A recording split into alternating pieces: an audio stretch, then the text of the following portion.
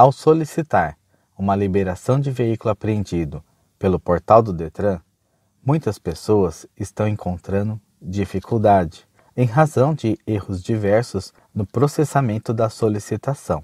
Esses erros vão desde inconsistência nos dados do veículo ou do comprador, ou até mesmo no carregamento dos arquivos enviados. E o que deve ser feito nesses casos?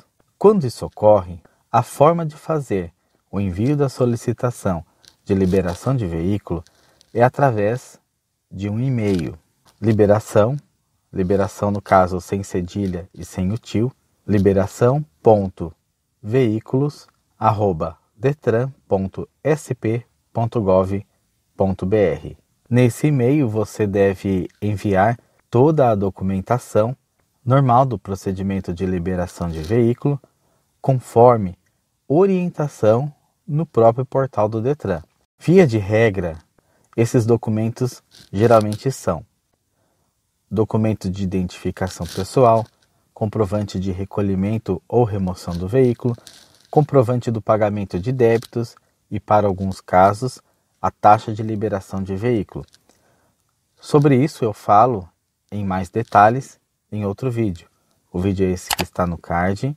Eu também deixei um link na descrição.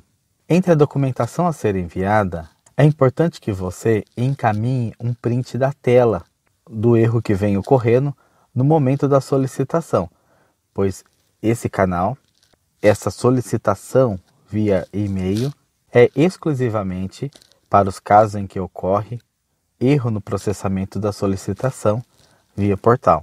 Enviado o e-mail, é só aguardar que no prazo de dois dias úteis o seu veículo será liberado ou você receberá um retorno, uma resposta do Detran se a documentação não for aceita ou estiver incompleta.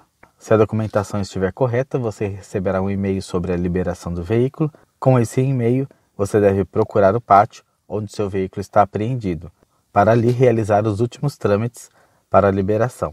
O vídeo de hoje termina por aqui. Espero ter te ajudado de alguma forma. Se você ficou com alguma dúvida, escreva nos comentários.